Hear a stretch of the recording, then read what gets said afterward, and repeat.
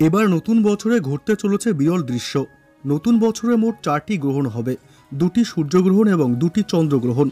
এই গ্রহণের সাক্ষী হতে চলেছে গোটা বিশ্ব।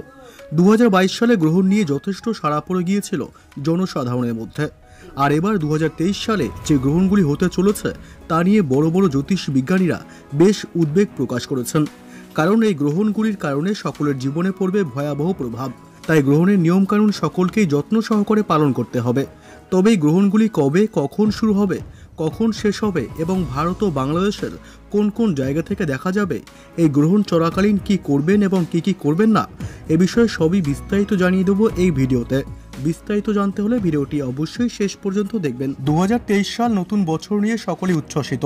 কবে কোন উৎসব পড়ছে এবং কবে কবে সূর্য এবং চন্দ্রগ্রহণ ঘটবে, তা নিয়েও মানুষের মধ্যে শুরু হয়েছে কৌতূহল। হিন্দু ধর্মে গ্রহণকে শুভ বলে মনে করা হয় না। গ্রহণের সূতক সময়ে সব ধরনের শুভ কাজও নিষিদ্ধ থাকে। এই সময়কালে অনেক সতর্কতা অবলম্বন করার পরামর্শ দেওয়া হয়। জ্যোতিষশাস্ত্রের গণনা অনুযায়ী দু হাজার তেইশ সালে মোট চারটি গ্রহণ ঘটবে, দুটি সূর্যগ্রহণ এবং দুটি চন্দ্রগ্রহণ।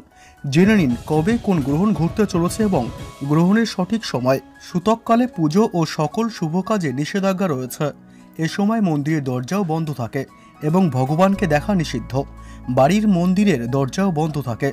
এছাড়াও সূতক সময়কালে কিছু খাওয়া বা পান করা নিষিদ্ধ। রান্না করা খাবারে তুলসী পাতা রাখা হয় এ সময়। বছরের প্রথম সূর্যগ্রহণ ঘটতে চলেছে কুড়ি এপ্রিল, বৃহস্পতিবার। গ্রহণ শুরু হবে সকাল সাতটা বেজে চার মিনিট এবং শেষ হবে দুপুর বারোটা বেজে উনত্রিশ মিনিটে। বছরের দ্বিতীয় এবং শেষ সূর্যগ্রহণ ঘটবে চোদ্দই অক্টোবর শনিবার। এটি ভারত থেকে দেখা যাবে না। এর ফলে ভারতে এই গ্রহণের সূতক কাল বৈধ হবে না। তবে বছরের প্রথম চন্দ্রগ্রহণ ঘটতে চলেছে পাঁচই মে, শুক্রবার। গ্রহণ শুরু হবে রাত আটটা বেজে পঁয়তাল্লিশ মিনিটে এবং শেষ হবে রাত একটায়। এটি উপছায়া চন্দ্রগ্রহণ হবে, যে কারণে সূতক কাল বৈধ হবে না। বছরের দ্বিতীয় এবং শেষ চন্দ্রগ্রহণ ঘটবে উনত্রিশে অক্টোবর, রবিবার।